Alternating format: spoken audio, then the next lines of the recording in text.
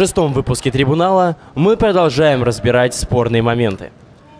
Самым скандальным матчем девятого тура вышла игра между «Снежными барсами» и «Алтаем».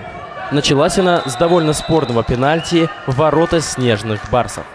В этом эпизоде, на наш взгляд, первый отталкивает руками Сычев, и в ответ на это Алыник вынужден завалить Сычева. На наш субъективный взгляд, нарушение должно было бы быть поставлено в пользу снежных барсов чуть раньше, но арбитр назначает пенальти.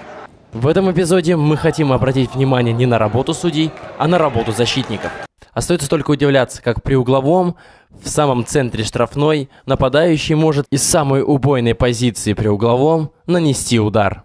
Много споров вызвал момент с забитым голом снежных барсов. Однако в этом эпизоде Леонид Гаврилюк четко разобрался в ситуации.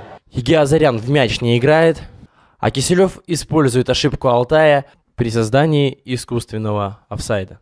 В этой ситуации налицо ошибка линейного арбитра.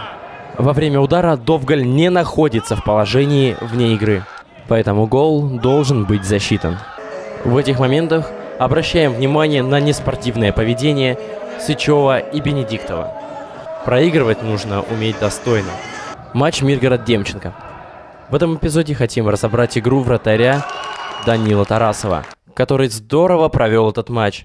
Однако в этом эпизоде он банально отворачивается от мяча. В этом эпизоде попадание мяча в руку защитника очевидно.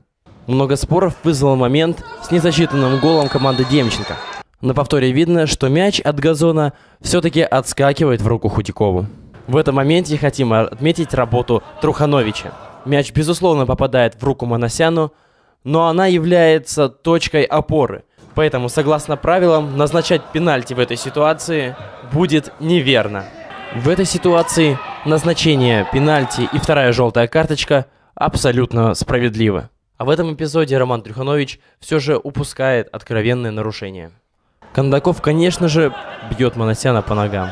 Шестой выпуск трибунала подготовили Артем Тарасов, Александр Суровцев, Владимир Беспалов.